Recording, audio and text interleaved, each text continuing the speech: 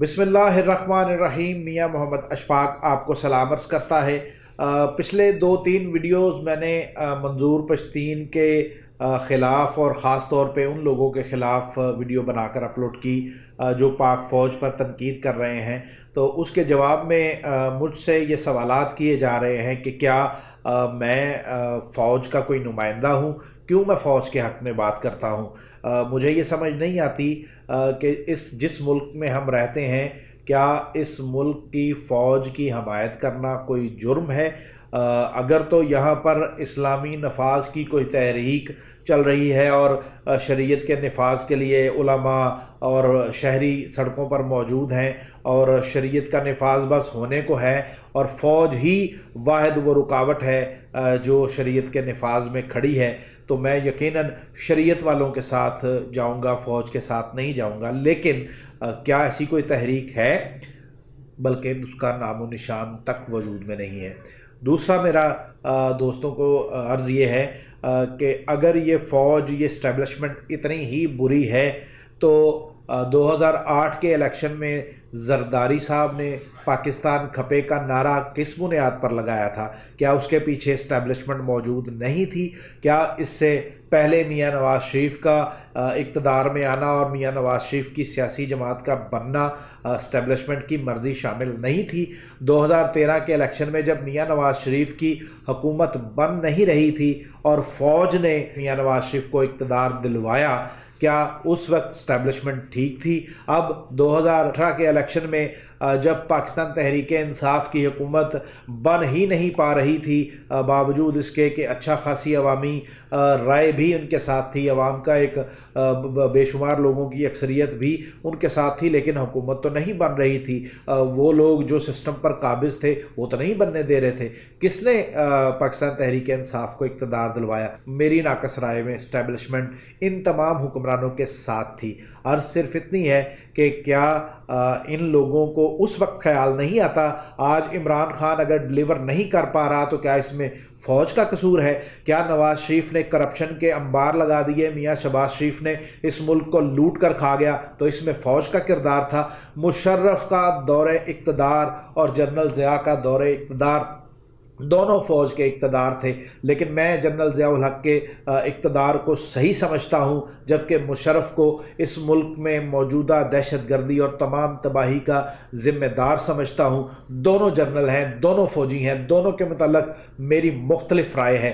یہ میری رائے ہے مجھے کوئی نہ مسلط کر رہا ہے اپنی سوچ اور نہ ہی میں کسی کی سوچ کو اپنے دماغ میں اڈیل سکتا ہوں، دلیل سے ضرور قائل ہو سکتا ہوں، وہ ضرور آپ لوگ قائل کیجیے۔ وہ لوگ جو میری منظور پشتین اور فوج کے متعلق جو ان کا اختلاف ہے، اس میں میرا وزن فوج کے ساتھ ہے، مجھے اپنے دل پر ہاتھ رکھ کے بتائیں، کیا منظور پشتین جن لوگوں کے اشاروں پر کام کر رہا ہے، کیا وہ اسلام یا پاکستان کے حمایتی ہیں؟ مجھے یہ بتائیں، جس وقت دو ہزار دو کے بعد پاکستان میں ڈرون حملے اور بے شمار جو وہ خباصت جو جنرل مشرف پاکستان لا رہے تھے، ہم مذہبی جماعتوں کے ساتھ سڑکوں پر موجود تھے اور ملین مارچ کیا تھے؟ اسی لیے تھے کہ پختونوں کے اوپر مسلمان بھائیوں کے اوپر بمباری امریکہ نہ کرے اور اگر کرتا بھی ہے تو پاکستان اس کا حصہ نہ بنے۔ لیکن اس کے بعد متحدہ مجلس عمل تو پرویز مشرف کی بی ٹیم بن کر بیٹھ گئی لیکن اس وقت تو فوج بری نہیں لگ رہی تھی۔ مجھے یہ بتائیں دو ہزار تیرہ کے الیکشن میں جب جماعت اسلامی اور دیگر مذہبی جماعتوں نے کراچی میں الیکشن کا بائیکاٹ کیا تھا، تو کیا اس وقت اسٹیبلشمنٹ موجود نہیں تھی؟ اور ایک اور بات، جماعت اسلامی کے منصورہ میں رقص ابلیس کے نام سے ایک ویڈیو ہے۔ وہ ویڈیو نکالیں، اس میں جو ابلیس نے رقص کیا تھا، وہ ابلیس کون تھا؟ کس نے سفید داڑھی والے لوگوں کو مارا تھا؟ وہ میاں نواز شریف کے لوگ تھے۔ ان کی پنجاب پولیس تھی کس لیے مارا تھا کہ واجپئی یہاں پر آ رہا تھا اور جماعت اسلامی اس وقت احتجاج کر رہی تھی۔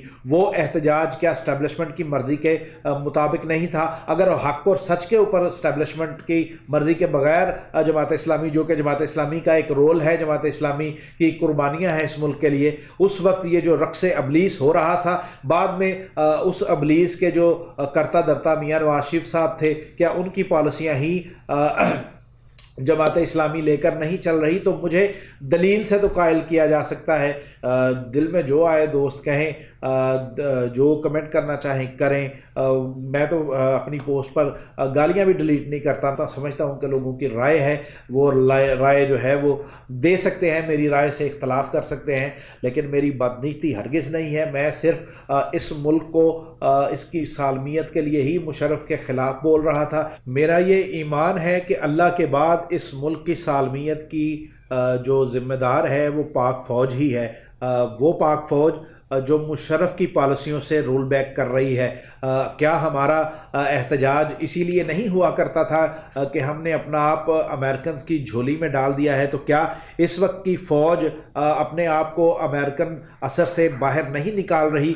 تو جب فوج کوئی غلط کام کرے گی، ہم اس پر تنقید بھی کریں گے۔ لیکن یہ نہیں ہو سکتا کہ ہم ان لوگوں کے اعلیٰ کار بنیں جو اس ملک کو کمزور کرنے کے لیے اس فوج پر تنقید کرتے ہیں۔ پاکستانی فوج پر کل بھی تنقید کرتے تھے مختلف ایشوز پر، آج بھی کرتے ہیں۔ آج بھی میں یہ سمجھتا ہوں کہ یہ سیاستدانوں کو جو این آر او مل رہا ہے، اس کے پیچھے فوج ہی ہے اور فوج ہی اس این آر او کو جو ہے وہ دلوانے میں کسی نہ کسی طرح سے راستہ ہموار کر رہی ہے، جو کہ اس قوم کے ساتھ زیادتی ہے۔ لیکن اس کا مطلب یہ ہرگز نہیں ہے کہ ہم اس فوج کو کے بدلے انڈیا کی فوج یہاں پر لے آئیں۔ یہ ہمارے اپنے ہیں، ان پر ہم تنقید بھی کریں گے ان سے ہم محبت بھی کرتے ہیں۔ ان کی کی قربانیوں کو سلام بھی کرتے ہیں اور ان کی جانب سے اٹھائے جانے والے تمام غلط اقدامات کی نفی بھی کرتے ہیں۔ کل کلا جب غزوہ ہند لڑا جائے گا تو وہ مجاہدین جب غزوہ ہند لڑ رہے ہوں گے تو یہ پاک فوج میرا ایمان ہے کہ ان کے شانہ بشانہ موجود ہوگی۔ اب تک کے لیے اتنا ہی، اپنی تنہائیوں، اپنی محفلوں اور اپنی دعاؤں میں ہم سب کو یاد رکھے گا۔ اللہ حافظ۔